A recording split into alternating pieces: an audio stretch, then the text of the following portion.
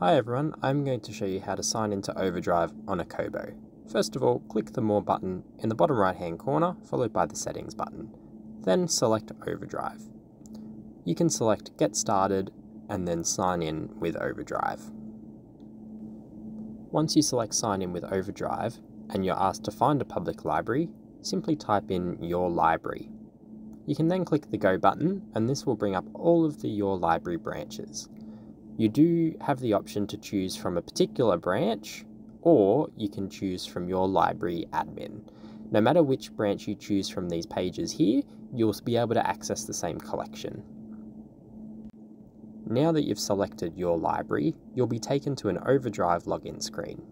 Users will be prompted with a QR code that they can use to sign in, however we recommend using the Sign in on this device button.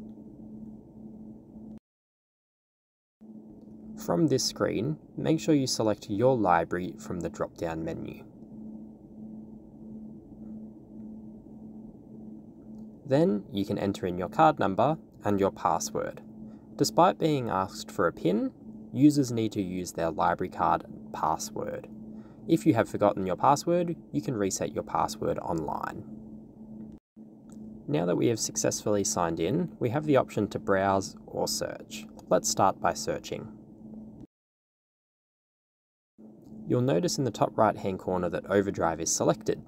That will mean that we're searching for Overdrive items and not items on the Kobo store, so make sure that is selected. Let's type in a title that we'd like to search for. You can see in the search results that we have the option to place a hold or borrow an item. As we flick through the pages, we can find which item we're after. This item here we can only place a hold, so we'll click on the item and then click on the three dot ellipses, which will then give us the place a hold with overdrive option. Just note that because we are searching within the Kobo store, you will be prompted to purchase the item. That's why you have to click on the three dots to make sure you choose the correct option. If we look in the Discover tab, we can see the item that we placed a reservation on. If we click the cover of another item, we can view more information about that item, click on the three dots, and select Borrow with Overdrive. This will connect to your Overdrive account and borrow the item on your Kobo device. If we click Go to Books, we can then sync the shelf and the item will appear. Now the item is showing in My Books, simply click on the title to load the reader on your Kobo. You have a range of different options when using the reader, from tapping or swiping across to view the different pages. If you click on the bottom or the top of the screen, you can select which page you'd like to view, change the font size and settings, or return to My Books.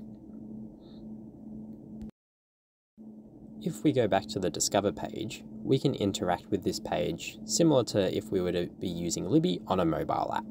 We'll be able to see various collections and browse through those accordingly. When it comes to removing an Overdrive account, simply click on More, followed by the Settings button, and then the overdrive option. From here, we can sign out of the overdrive account. It is best practice to sign out of the overdrive account if you're experiencing any difficulties with authenticating with your Kobo.